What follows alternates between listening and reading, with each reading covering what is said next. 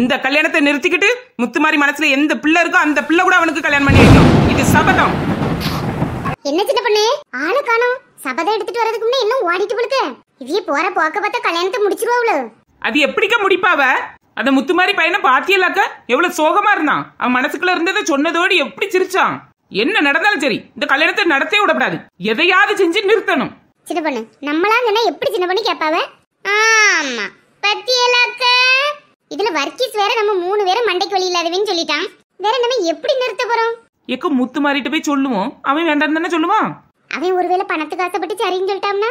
லட்சுமியை கடை போய் சொல்லுவோம். எக்க உங்க பையன் மனசுல வேற ஒரு பிள்ளை இருக்கு நீ. அவையெல்லாம் கேட்கலன்னா? எங்க மைனி மூவட்ட போய் சொல்லுவோங்க உன்னை அந்த பையனுக்கு பிடிக்கல நீ. அந்த பிள்ளையும் கேட்கலன்னா? உங்களை கொன்னுருவாங்க அதுக்கு பிறகு ஒரு ஒரு வருஷத்துக்கு கல்யாணம் வச்சு வராதா? அதுக்குள்ள அவிய மனசு மாதிரி வேற இடத்துல அந்த பிள்ளைய கட்டி கொடுத்துருவாவ. கல்யாணம் நின்றோம். அது பிறகு கல்யாணம் நின்னா எனக்கு என்ன நிக்கலனா எனக்கு என்ன கொல்ல போறாளாம் கொல்ல. அம்மா அவ கொல்ல போறேன்னு சொல்லும்போது நீ சிரிக்க தானே செஞ்சா இல்லக்க சிரிச்ச மாதிரி இருக்கு இப்போ ஆ இதே மூஞ்சோடி போகணும் அங்க திரும்பி சிரிச்சு இங்க திரும்பி சிரிச்சேன்னு இருந்து அப்புறம் முத்துமாரிக்கு கல்யாணம் நடக்காது செல்வாக்கு தான் பாத்துக்க பாரு சின்ன பொண்ணு எப்படி சொல்லுவ நீ பேசாம இத போட்டு தள்ளிருவோமா எதுக்கு பூமிக்கு பாரமா முத்துமாரிக்க கல்யாணத்தை நல்லபடியா நிறுத்துவோம். அது பிறகு போட்டு தள்ளிடலாம். சரி சின்ன பொண்ணு. சீக்கிரமே அத தூக்கணும். சின்ன பொண்ணு ஓடியா? எல்லாம் கிணறு போயிட்டு இருக்கு ஆ எக்கா வாரேங்க ஏங்க ஏங்க. உங்ககிட்ட கொஞ்சம் தனியா பேசணும். என்ன சின்ன பொண்ணு? தனியா பேசணும்னு சொன்னேன். உமா இவன் எதுக்கு துடிக்கான்? என்னங்க? எதுக்கு இப்படி பெருக்கா சுத்தி எடுத்துறியா ரூமுக்கு வா. எங்க யாங்க என்னைய போட்டு அலறுறிய நானே ஒரு பாவம் பிள்ளை பூச்சி சின்ன பொண்ணா பாத்தியா எப்படி ஒதுங்கியா நீ? மைனியா உங்களுக்கு என்ன வேலைங்க? எனக்கு என்னப்பா வேலை? வயிறு பசியா இருந்து. அதான் சாப்பிட ஏதாவது வாங்கி தர முடியான்னு பெருத்தால வந்தேன். ரூமுக்கு போங்க வாங்கிட்டு வரேன். சரி செல்வா நான் ரூமுக்கு போறேன். எனக்கு என்னங்க வேலை? இவா மொழி வேற சரியில்லையே. என்ன செய்ய? ரூமுக்கு போனோடனே நொத்தி எடுத்துருவாள. சின்ன பொண்ணு வா போவோம் அது சாப்பாடு வாங்க தான் போறாவலாம் சம்மந்தம் பேசுறதுக்கு இல்ல. செல்வா சும்மா கடைக்கு தோசை இட்லின்னு என்னத்தையும் வாங்கிட்டு வந்துடாத. நல்ல சிக்கனு மட்டனு காடை கவுதாரின்னு என்னதெல்லாம் கிடைக்குதோ அதெல்லாம் வாங்கிட்டு வா அதான் சின்ன பொண்ணுக்கு பிடிக்கும். அதானே சின்ன பொண்ணு? ரூமுக்கு போன உடனே மொத பொங்கல் உங்களுக்கு தான் சாப்பிடறதுக்கு வாங்கிட்டு வர சொன்னேன்னு நினைக்கிறியோ? வேற தூரப்படாதுக்கா.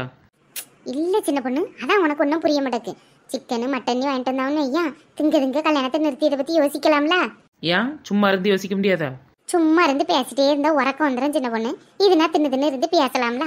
அதான் வாங்கிட்டு வர சொன்னேன். நாலு முடியையும் பிடிச்சி கரைக்கிட்டு வீசுறதுக்கு ரொம்ப நேரம் ஆகாது தெரியும்ல? சத்தம் கட்டாம என் பெருத்தோடி வந்து நில்லுங்க. வரேன் எங்க தனியா பேசணும்னு சொல்லிட்டு இருக்கோம்ல? எதா இருந்தாலும் இங்கே பேச சின்ன பொண்ணு. தனியெல்லாம் வர முடியாது. எக்க இவ எப்படி இந்த கல்யாணத்தை எப்படி நிறுத்தலாம்னு தான் என்னத்தையாவது பிளான் போட்டு வந்திருப்பா. நீங்க அவ சொல்லியது எதையும் காதுல வாங்காதீங்க என்னக்க? ஆ சரி தம்பி. இப்ப சொல்லு என்ன? மைனியா அவிட்ட பேசி பிரயோஜனம் கிடையாது. நான் உங்ககிட்ட ஒரு உண்மையை சொல்லியேன். இதை மட்டும் கேட்டுட்டு இந்த கல்யாணம் நடக்கணுமா வேண்டாமான்னு முடிவு பண்ணிடுங்க.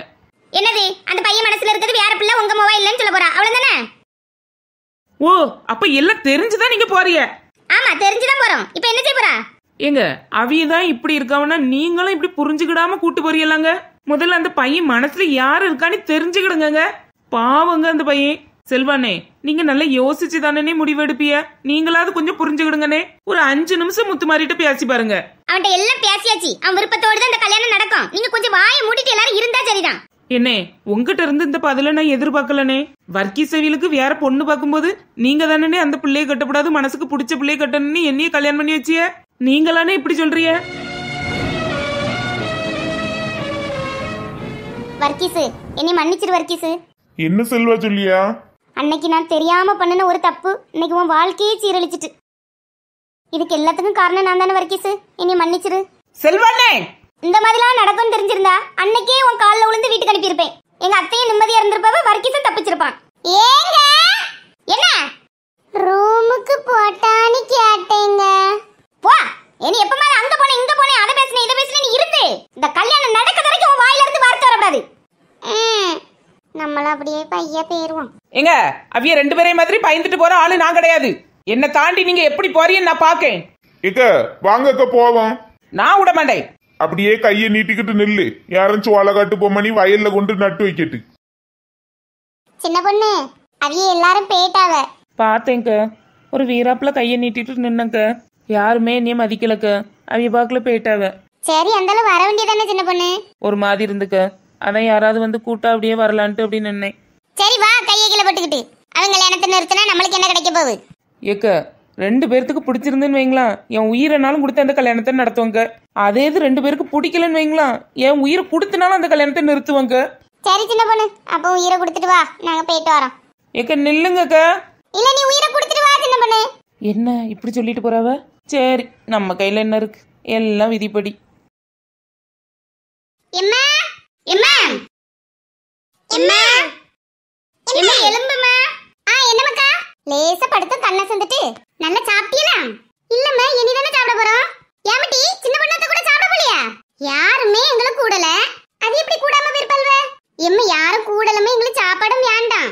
எம்மா அங்க எல்லாரும் தீலாம் போட்டு ஆடிட்டு கிடக்காவுமா நாங்களும் கொஞ்சம் நின்று பாக்கட்டாமா ஆடிட்டு கிடக்காவல ஆடுனா ஆடிட்டு போட்டு. எம்மா தள்ளி நின்னுதாம்மா பாப்போம் நல்ல ஜாலியா இருக்குமா ராணியக்க பிள்ளைகள் போனா போட்டு நம்ம முத்து மாதிரியே கூட்டு போய் சாப்பாடு வாங்கிட்டு வருவோம்.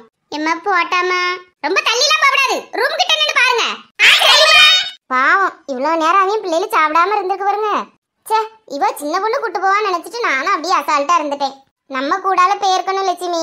நம்ம அங்கங்க அலைய மாச்சு பிடிச்சு இங்க இருந்தோம். அவ மறந்து போயிருப்பா. சரி வாங்கக்க. முத்து மாறிட்டு போய் சாப்பாடு வாங்கிட்டு வர சொல்லுவோம். இனி இதுவெல்லாம் கூட்டிட்டு போய் சாப்பிட போனோம்னு வைங்களேன் நல்ல நேரம் ஆயிரும் அந்த குளிர்ல எவனால நிக்க முடியும். சரி லட்சுமி வா. முத்துமாரி முத்துமாரி. இது எதுக்கு அம்மாவே இப்படி அழுதுட்டு இருக்கான் முத்துமாரி மக்களே முத்துமாரி. ஆ எத்தே? ஏன் மக்களே அழுதுட்டு இருக்கா? ஒன்னும் இல்லம்மா சும்மா படுத்திருந்தேன். நாங்க பாத்துட்டு தாம்ல வரோம். நீ மாக்கு மாக்குன்னு அழுதுகிட்டு இருந்தா. என்ன நீ சொல்லு மக்களே. ஒன்னும் இல்லம்மா தூக்கமே வர மாட்டேக்கு ஏம்மா கொஞ்ச நேரம் மடியில படுக்கட்டாமா யாமல என்னலாம் ஆச்சு? சொல்லு. லட்சுமி அவன் தான் மடியில படுக்கணும்னு சொல்லியாம்ல? கொஞ்ச நேரம் அமைதியா விடு லட்சுமி. எதையுமே வெளியே சொல்லாம இப்படி மனசுக்கே வச்சு புளிங்கியா பாருங்க சரி விடு லட்சுமி இப்போ ஒன்றும் பேசாத. படுமக்களே முத்துமாரி எதையும் நினைக்காம கண்ணை மூடிட்டு தூங்குமா? ஆ சரி தே. இந்த ரூம்ல தான்க்கா முத்து மாதிரி அம்மா இருக்காங்க. ராணியக்கா லட்சுமி அக்கா ராணியக்கா அக்கா. என்ன வர்க்கீஸு ரூம்ல ஒருத்தரும் இல்ல? கதவு திறந்து தானே செல்வா இருக்கு இங்கனதான் பக்கத்துல எங்கேயா போயிருப்பாவ. அக்கா இதுல நின்னுக்கோங்க. ஒரு அஞ்சு நிமிஷத்துல கூட்டு வந்துருயேன் தம்பி இதுக்கு அடுத்த ரூமுக்கு அடுத்த ரூம் தான் எங்க ரூம் எங்க மொவட்டே நாங்க ஒண்ணுமே சொல்லல. அவட்ட லேசா பேசிட்டு வரோம். அவி வந்த உடனே கூடுங்க. ஆ சரிக்கா. எங்க போயிருப்பாவ முத்துமாரி லட்சுமி முத்துமாரி தூங்கிட்டான்னு நினைக்கேன். பைய கடத்திட்டு வாயா. ராணி அக்கா என் மொவன் அக்கா இப்படி இருக்கான். சத்தம் போடாத. இப்ப தானே தூங்கியான். தூங்கட்டு. ரூமுக்கு வா. அங்க போய் பேசிக்கலாம். லட்சுமியா முத்துமாரி அந்த பிள்ளைய சைக்கிளில் கூட்டு போயிட்டு வந்தையில இருந்தா இப்படி இருக்கான். ஏதோ பிரச்சனை நடந்திருக்கு. என்னன்னு விசாரிக்கணும் பத்துக்க. என்னக்க சொல்றிய? ஆமா லட்சுமி இல்லைன்னா இப்படி உடஞ்சி போய் இருக்க மாட்டாம்ல. அந்த பிள்ளைய நினைச்சுதான் ஏதோ வருத்தப்படியாம் பத்துக்க. நம்ம இப்படியே விட்டுட்டு இருந்தோம் வையா நம்ம பிள்ளை நமக்கு இல்ல. இப்ப என்னக்க செய்யணும்? அந்த பிள்ளைக்கு அம்மா அப்பாவும் இங்க கொடைக்கானல்ல தானே இருக்காவ? நம்ம ஏன் ஒரு வாட்டி போய் பேசி பார்க்கக்கூடாது ஏக்கா ஏக்க அந்த பொம்பளை ஒரு மாதிரி வள்ளு வல்லுன்னுலாக்க நிற்கும் அதுகிட்ட போய் என்னத்துக்கு பேச? அவிய இடத்துல யாரா இருந்தாலும் அப்படிதான் லட்சுமி நிப்பாவ.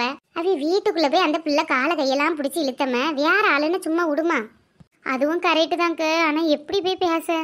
யார்கிட்டையும் சொல்லாண்டாம் நம்ம ரெண்டு பேரும் மட்டும் போவோம். நடந்ததெல்லாம் சொல்லுவோம். சொல்லிட்டு எங்க பையனுக்கு உங்க பிள்ளைய ரொம்ப பிடிச்சிருக்கு. உங்க பிள்ளைக்கு எங்க பையனை பிடிச்சிருக்குன்னு நினைக்கும். என்ன சொல்றியே? அப்படி கேட்போம். அந்த பிள்ளைக்கு பிடிச்சிருக்கானே நம்ம எப்படிக்கா கண்டுபிடிக்க? அது எப்படி லட்சுமி? பிடிக்காமல அந்த பிள்ளை முத்து மாதிரி சைக்கிள்ல ஏறி போச்சு. எக்க என்னக்க சொல்றிய? நீ கொஞ்சம் சும்மா இரு லட்சுமி. எனக்கு இதுதான் கரெக்டுன்னு படுவு. யாரையும் கூட்டு போண்டாம் நம்ம மனசுல இருக்கிறத வீட்டை போய் சொல்லுவோம். அது என்ன சொல்லி அவ்வளோ அதை கேட்டுட்டு வருவோம். லட்சுமி அக்கா. லட்சுமி சின்ன பொண்ணு வாரா. அவட்ட எதுவும் சொல்லாத. எல்லா விஷயமும் முடிஞ்ச பிறகு சொல்லலான்னு. அவ சின்ன பிள்ளை புத்தியில எதையாவது சொல்லி காரியத்தையே கெடுத்துருவா. ஆ சரிக்கு. என்ன சின்ன பொண்ணு? சாப்பிட்டுட்டு வந்துட்டீங்களா ஆனாலும் நீங்க சரியான ஆளுதான் சின்ன பொண்ணு. ஏங்க? பிள்ளையில கூட்டு போகாம போயிட்டீங்களா சின்ன பொண்ணு? போவாங்க அக்கா. நாங்களே என்ன சாப்பிடல. சாப்பிடலையா? ஏன் சின்ன பொண்ணு? வசந்தி அக்கா. என்ன சின்ன பொண்ணு? நடந்ததை லட்சுமி அக்கிட்ட சொல்லலாமா? சொல்லு சின்ன பொண்ணு. ஆனா நல்ல விளக்கமா சொல்லு. சும்மா உங்க மைனி கல்யாணத்துக்கு சம்மதிச்சிட்டான்னு சொன்னான்னு வையா உடனே நகைக்கு ஆசைப்பட்டு இது பறந்துரும். ஏற்கனவே வீடு வாங்கணும் கார் வாங்கணும்னு சொல்லிட்டு தெரிவு. நல்ல வசதியான இடம் நீ வளைச்சு போட பாப்பாவ. அதனால நீ தெளிவா சொல்லி புரிய வை. முத்துமாரி மனசுல இருக்கிறது வேற பிள்ளை உங்க மைனிக்க மோவா வேற பிள்ளைன்னு சொல்லி புரிய வை. சரிக்கா. லட்சுமி அக்கா நான் ஒரு விஷயம் சொல்லுவேன். அதை கேட்டு அதிர்ச்சி ஆயிராங்க உங்க மனசை நல்லா பக்குவப்படுத்தி வச்சுக்கிடுங்க. அவ்வளவு பெரிய விஷயமா சின்ன பொண்ணு? ஆமாக்கா. அதிர்ச்சி அடைஞ்சிராங்க சரி சின்ன பொண்ணு நீ இப்படி சொல்லியே தான் பயமா இருக்கு. என்ன நீ சொல்லு. ஏக்கா அதெல்லாம் ஒன்றும் இல்லை. நான் என்ன சொன்னாலும் தாங்கிக்கிடணும்னு அழலாம் விடாது ஏமா நீ சொல்லம்மா. நிலைமை தெரியாம. இல்லக்க சந்தோஷமா இருக்கிறதுக்காண்டி டூருக்கு வந்திருக்கோம். ஏ சொல்லி தொலை. எல்லாம் முத்துமாரியை பத்தி தான் முத்துமாரி பத்தியா? என்ன சின்ன பொண்ணு? ஏக்க தாங்கிக்கிடுங்கக்கா என்ன சின்ன பொண்ணு? ஒரு விஷயத்தை ஆரம்பிச்சா பெட்டுன்னு சொல்லி முடி. ஏக்க நான் சொல்ல போறது ரொம்ப பெரிய விஷயம்க்கா சின்ன பொண்ணு சொல்லு சின்ன பொண்ணு. சரிக்கா சொல்லியேன் ஏக்க எங்க மைனி இருக்கவல்ல அவிய மோளுக்கும் முத்துமாரிக்கும் கல்யாணம் பண்ணி வைக்கிறதுக்கு பேச வரவ. ராணிக்கு சின்ன பொண்ணு சொன்னது கேட்டியலக்கு ஆமா லட்சுமி. நம்ம பேசுனது அந்த கடவுளுக்கே காதுல விழுந்துட்டு போல. சின்ன பொண்ணு சொன்ன பத்தியா? பணத்தை அல்லதுக்கு எவ்வளவு ஆசை? ரெண்டு பேரும் எப்படி வாய பிளந்துட்டு இருந்தவனி பாத்தியா? லட்சுமி அக்கா வாய பிளந்தவனா பணம் வருவனி பழக்காவ? இந்த ராணி அக்கா ஏன் ஆணி பிளந்துட்டு இருந்தாவன்னு தெரியல ஆமாக்க அந்த பயலுக்கு கல்யாணம் வச்சா அரிசி பட்டி முறுக்கு பட்டின்னு வரம் பத்தியா? கூட நாள் அதுல அள்ளிடலான்னு இவ்விய பாக்காவ ராணி அக்கா அப்படிலாம் கிடையாது நாலு முடி.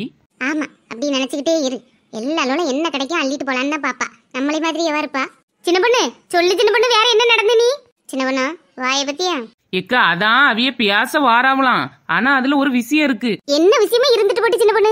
எப்படியாவது அந்த பிள்ளைய நம்ம முத்து பாரிக்கு கட்டி வச்சிடணும் கட்டி வச்சிடணும் கட்டி வச்சிடணும்னா அவனுக்கு பிடிக்காண்டாமா? அவனுக்கு ஏன் சின்ன பொண்ணு பிடிக்கணும்? நகை வருவில்ல ஒத்தைக்கு ஒரு பிள்ளை ஒரே ஒரு பையன் தான் இருக்கு. அதுவும் பத்து பதினொன்னாவது படிக்கான். அங்கே பொண்ணை கட்டிக்கிட்டு முத்து மாதிரி அங்கேயே இருந்துக்கிடுவான். அந்த பிள்ளை கொண்டு வர நகை பணத்துல இங்க லட்சுமி அக்காளுக்கு ஒரு வீட்டை வாங்கிடலாம். அப்படிதானக்க? நீலாம் ஒரு பொம்பளையா?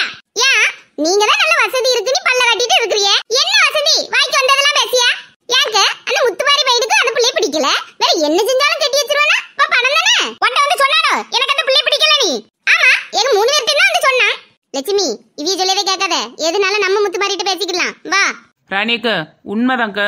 முத்துமாரி எங்க மூணு பேர்ட்டையும் சொன்னான். சொன்னா சொல்லிட்டு போட்டு. என் பிள்ளைகிட்ட கேட்டு நான் தெரிஞ்சுக்கிடுவேன். சின்ன பொண்ணு ஓட்டத்தை பத்தியா? இனி இந்த கல்யாணத்துல நான்லாம் தலையிட மாட்டேன். நீனும் தலையிடாத. கெட்ட பேர் நமக்கு தான் கிடைக்கும் பாத்துக்க. சரிக்கா நானே இனி இந்த கல்யாணத்துல தலையிட மாட்டேன்.